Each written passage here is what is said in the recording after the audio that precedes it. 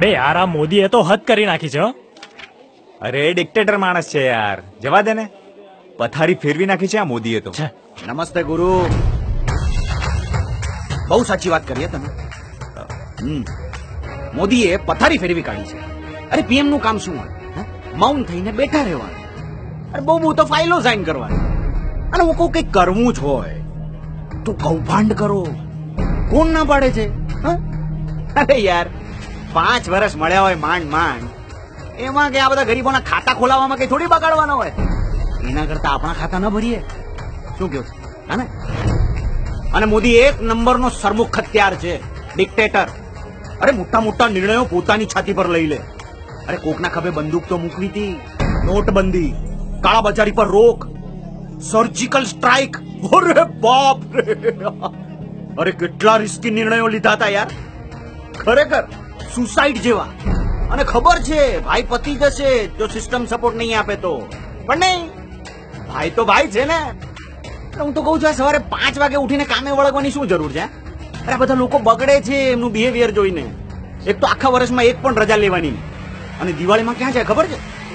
Border પર. જવાનોને મળવા. આ પીએમ મોદી એકદમ બેકાર છે. મીડિયા વાળાની એક પણ કોકટેલ પાર્ટી નહીં. રિપોર્ટરોને ફોરેન ટ્રીપ પર નહીં લઈ જવાના. અરે, ત્યાં સુધી કે આ માણસની ફેમિલીની કોઈ વેલ્યુ જ નથી. એમના એક પણ ફેમિલી મેમ્બરને ફ્લેટ નહીં. જમીન નહીં. ફોરેનની ટ્રીપ નહીં.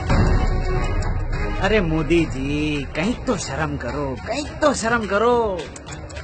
તમે તો દુનિયામાં દેશનું નામ કરી લીધું. પણ સાંભળ્યું છે કે એમના ભાઈના છોકરાઓએ હજુ સુધી પ્લેન નથી જોયું અંદરથી. અરે, ભાઈ, તમે તો રિપોર્ટર લાગો છો. અરે, જરા સમજાવો આ બધાને, જરા સમજાવો. કે ભાઈ, ગરીબના ઘરમાં ગેસ પહોંચાડવાથી ને પૈસાદારના ઘરમાં ગેસની સબસિડી બંધ કરાવવાથી કઈ વોટ ના મળે? અરે, વોટ માટે તો જીગર જોઈએ, જીગર. જાતપાત કરવી પડે, વોટ બેંક બનાવવી પડે. અને આ મેક ઇન ઇન્ડિયા ને સ્ટેન્ડ અપ ઇન્ડિયા થી શું થવાનું છે? કઈ નહીં. અરે, તમ તમારે મફતની રેવડી વેચો ને, કારોબાર. હાય નથી જોઈતું અમારે. સ્વચ્છ ઇન્ડિયા. નથી જોઈતું ન્યૂ ઇન્ડિયા. અમારું ઓલ્ડ ઇન્ડિયા જ બરાબર. છે. એકદમ.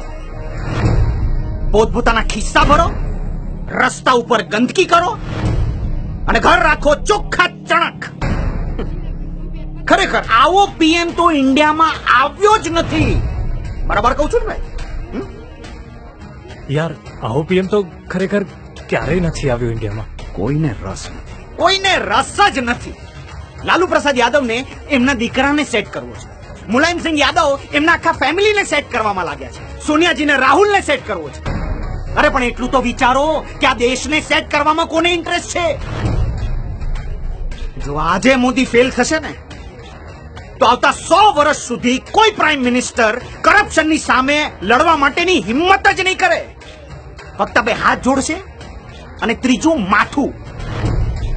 અને પછી કરતા રહેજો, મેરા ભારત મહાન. મેરા ભારત સર સર તમારો નંબર આપો હું આના ઉપર જરૂર સ્ટોરી કરીશ. સર તમારું નામ? હું છું વિકાસ. હું છું ગુજરાત. સેવ કરી લેજે.